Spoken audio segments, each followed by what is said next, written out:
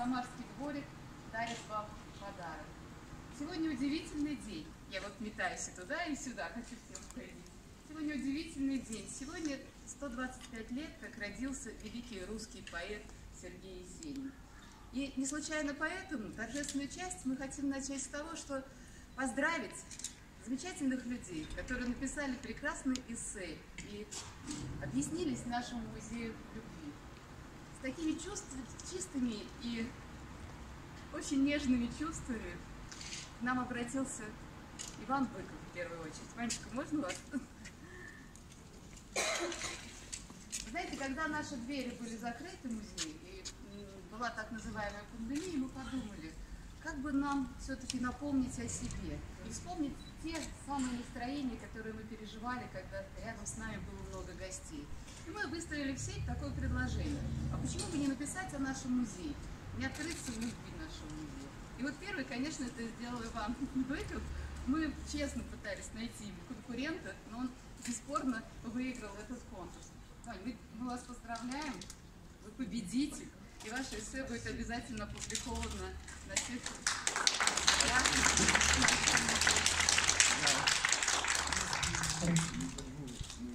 музей.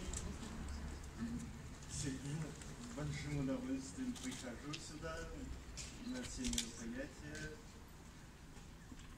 И мы стараемся вложить самые искренние чувства. Спасибо, у вас это получилось. Я думаю, что все в смогут еще вскоре убедиться. Спасибо.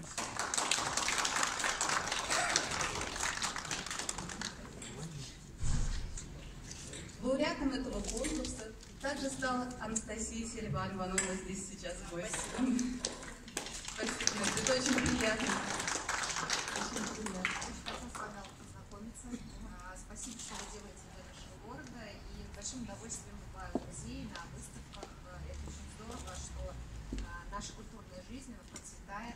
а, И а, очень скучал, когда было все на карантине, закрыто. И с большим удовольствием, конечно же, к вам прихожу. И а, а, с большим удовольствием а, поделилась своими теплыми чувствами, в том числе к музею и вообще, в принципе, к нашей родной Самаре. Спасибо вам за Замечательно, конкурс. спасибо.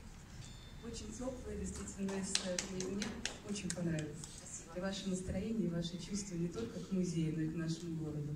Спасибо. Спасибо.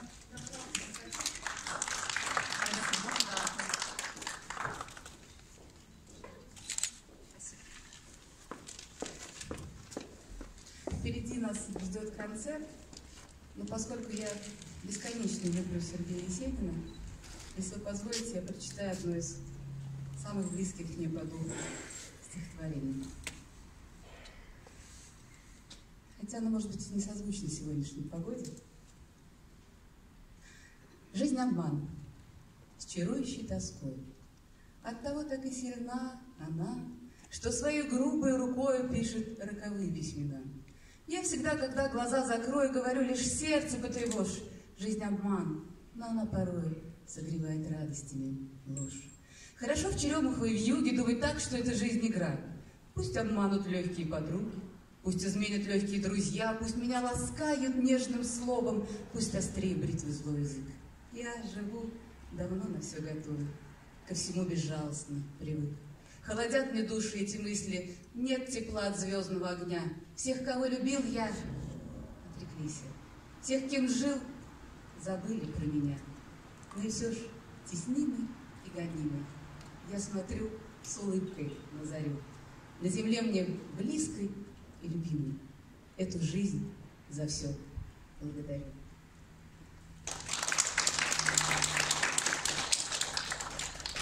Благодарю я в лице Сергея Есенина еще и тех людей, которые всегда рядом с нами, по-настоящему друзей.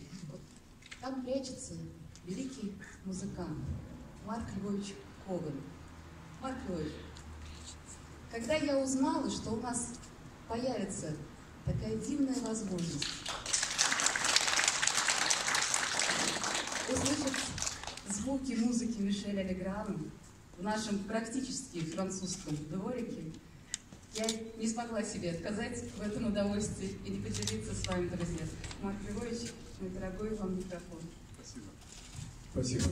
Ну, я так надеялся, что вы расскажете, скажете пару слов о том, что у вас была выставка, посвященная французской живописи, и идея была как раз в то время, но наши планы поменялись, мы вынуждены были переключиться на программы для фестиваля, международного фестиваля в Перми, что заняло наше время, но настолько программа показалась Леонидовне и нам интереснее, чтобы решили ее повторить, несмотря на то, что, в общем-то, сегодня несколько другая тема. Ну, так, так сказать, Сергей Есенин и Франция, Франция и Россия, французская культура для России 17, 18, 19 века, века были чем-то совершенно, особенно для дворянского сословия, было нечто более важным, чем даже русская культура. И так было до конца 19 века. Поэтому пусть не покажется э, странным, что в одном флаконе сегодня у нас и были поздравления, и Сергей Есенин, и выставка Нижегородского музея, и музыка французского кино. Дорогие друзья, не судите строго. Спасибо.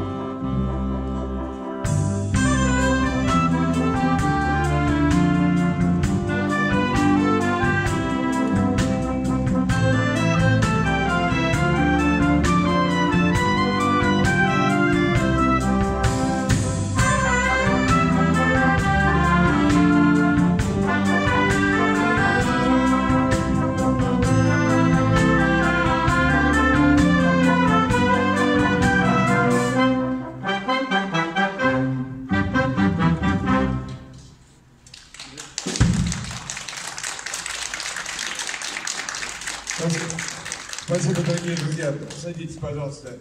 Это был знаменитый минуэт из репертуара оркестра Поля Мария и музыка, собственно говоря, Поля Мария. И понятно, что вещь достаточно известная, но должен вам сказать, что после смерти Поля Мария Жан-Жак Жустафре три года упрашивал вдову Поля Мария Ирену Мария дать ему разрешение организовать концерты памяти великого человека. Согласившись, Елена Мария предложила Жустафрен э, назвать оркестр именем Поля Мария. Так было сделано. И таким образом появился оркестр, гранд-оркестр имени Поля Мария. В 2012, в 2012 году оркестр Жустафре дал большое турне в России с программой посвящения Полю Мария. И многие из нас имели несказанное удовольствие в зале филармонии слушать этот оркестр. Лично я слушал его и получил огромное удовлетворения. И еще одна славная тема славного мелодиста Поля Мария. Райн, Райн, не про нас будет сказано, дождь, дождь.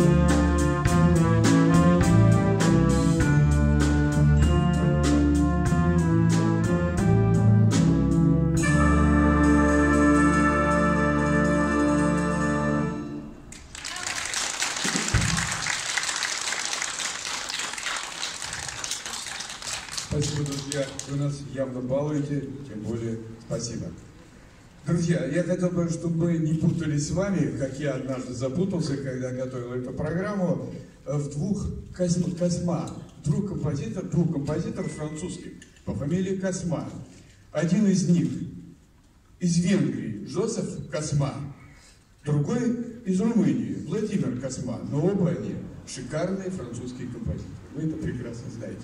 Итак, Жозеф Косьма «Опавшие листья». Кстати, осенняя тема.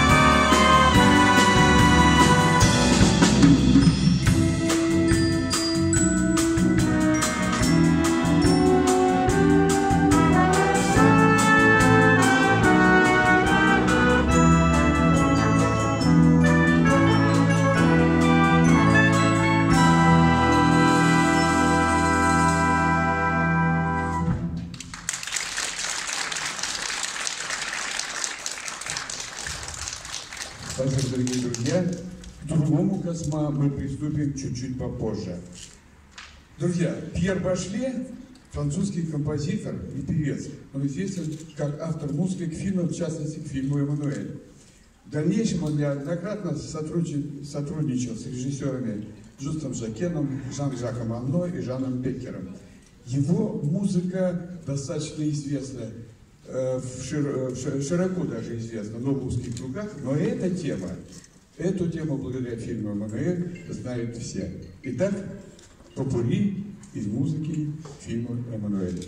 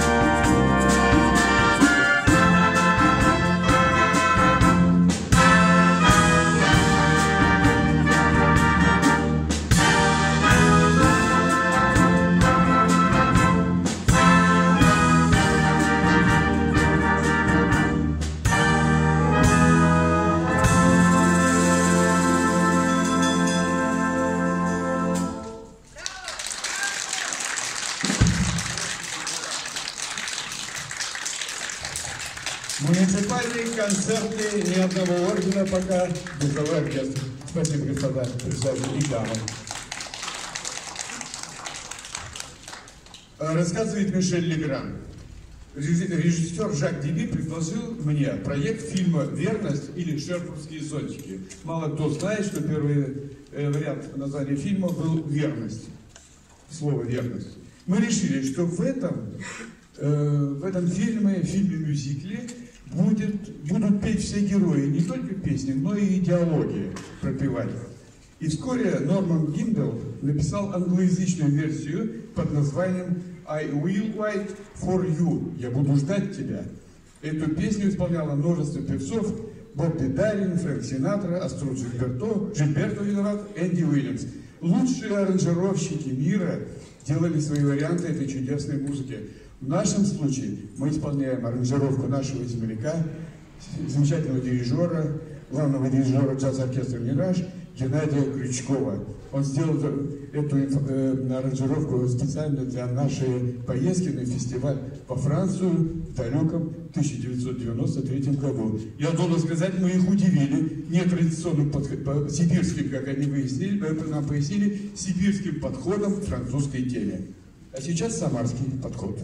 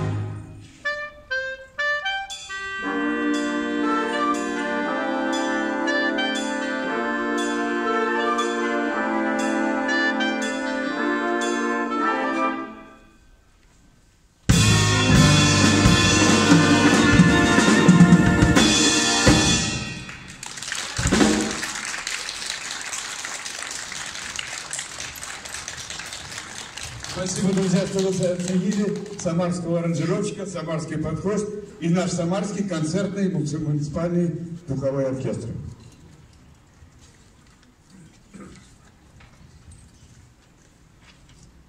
Одну секундочку, доклад плохо подготовлен. Я должен на ходу поправлять. Итак, продолжаем. Сибаней, если ты не придешь, я умру от любви. Слушай эхо моей кристальной песни. Она не затеряется среди шума моря. Конни Фрэнсис, Сибаней. Соло на флейте Пикала Кристина Жаркова. Соло на тромбоне Денис Ширяков, Дмитрий Игнатьев, Тарас Овчинников, Герман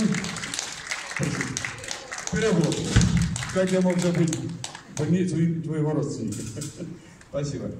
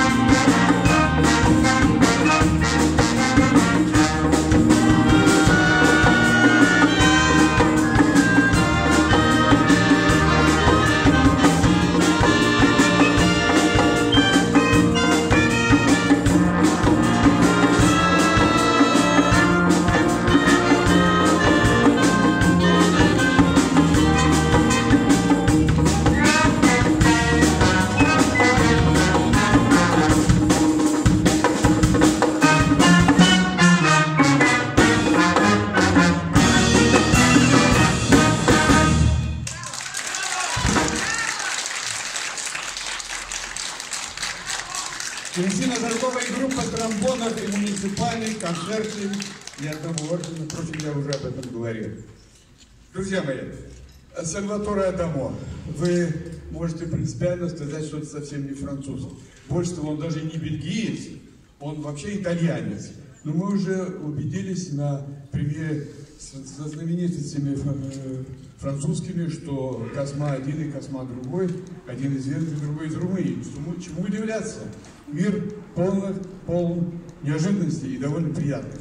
Итак, это всемирно известный шансонье, который гастролировал и в России, и в СССР, и является автором музыки и текстов практически всех своих песен. Он является национальным послом доброй воли ЮНИСЕФ от Бельгии. Это единственный пример исполнителя популярной музыки, который заседает ЮНИСЕФ. Будем надеяться, что наша российская эстрада тоже родит таких замечательных общественных деятелей. Итак, Сальваторе Адамо, не про нас будет сказано, падает снег. Я про снег, а не про Адамо.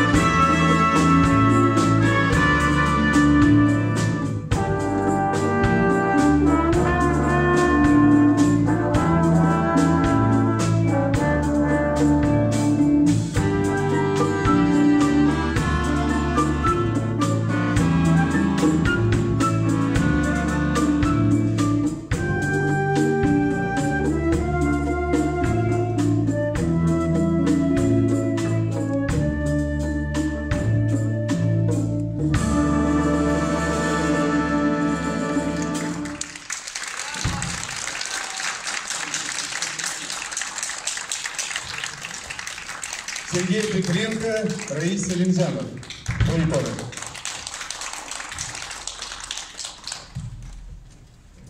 Дорогие друзья, спасибо большое. Итак, Луис Бонфа идет дальше в нашей программе.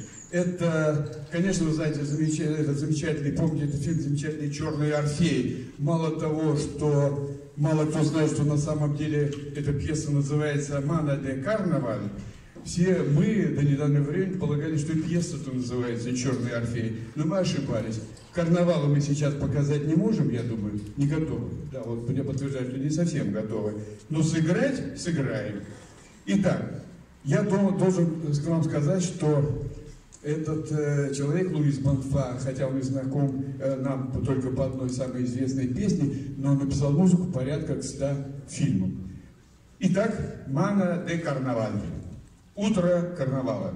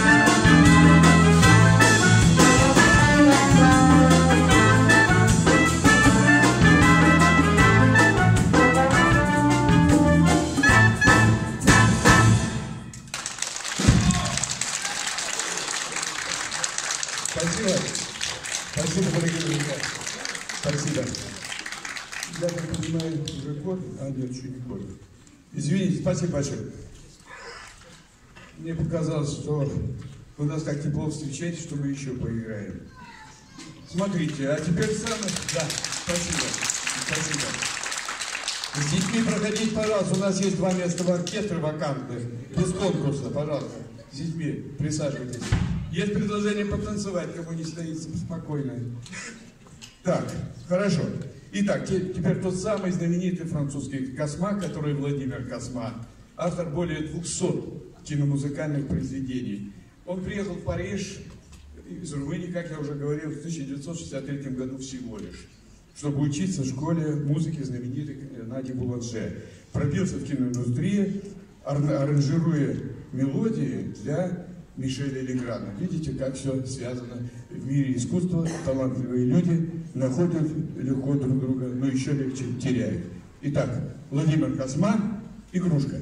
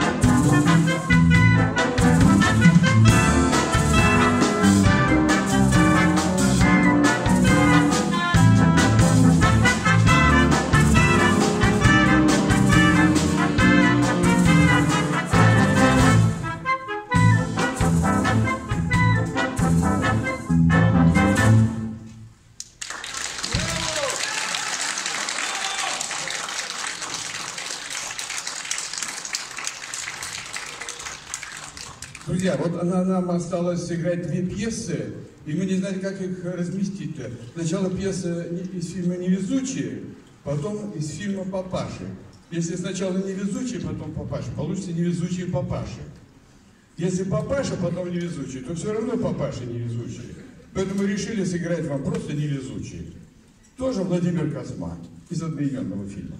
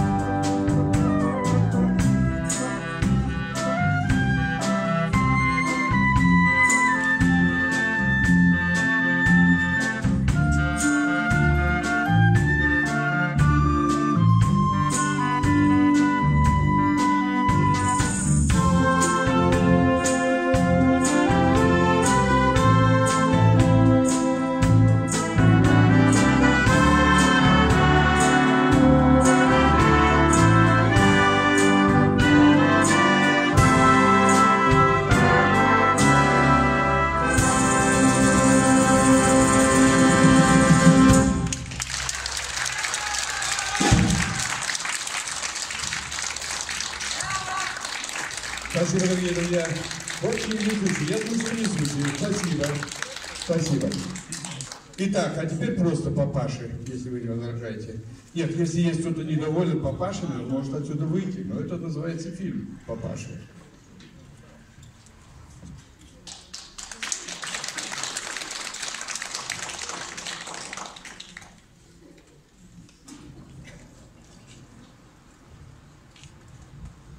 Я хочу познакомить вас с группой «Флит», которая весь вечер на арене сегодня. Это Кристина Жаркова Копарев. Это замечательные музыканты, и вы сейчас в этом еще раз убедитесь. Только они могут так со слезой сыграть про папашу.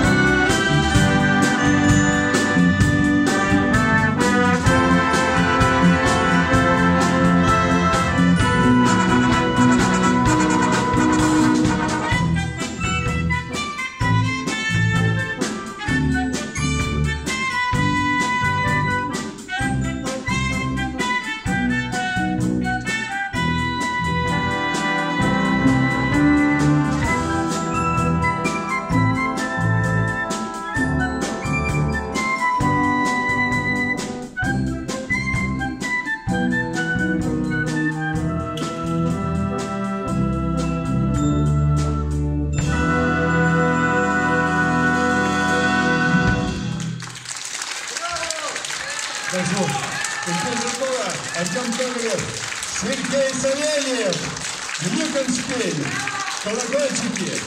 Спасибо, друзья. Спасибо. Сергей Савельев, не прячьтесь больше от нас, не прячьте свои таланты.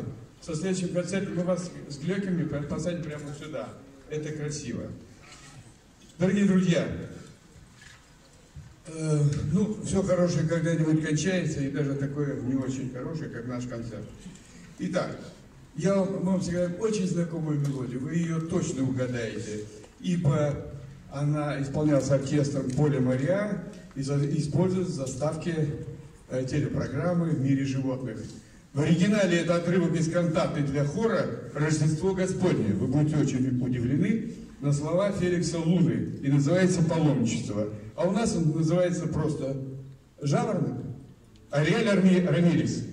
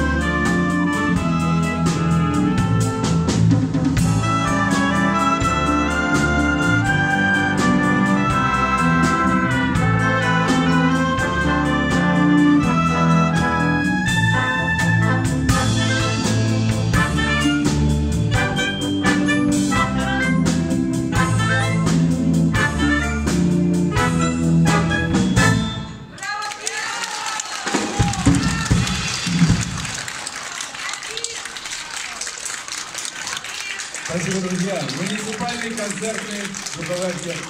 Спасибо, дорогие друзья, за долгое терпение. Спасибо. Спасибо. Спасибо, дорогие друзья.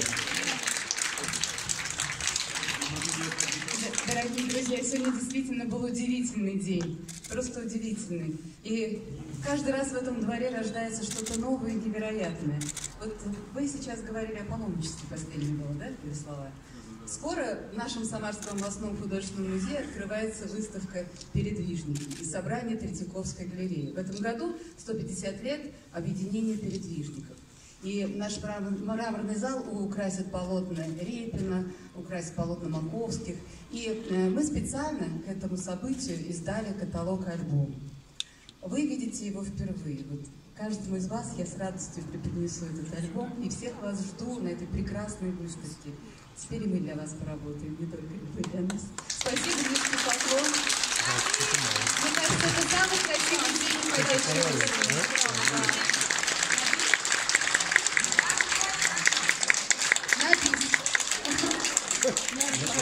Надеюсь.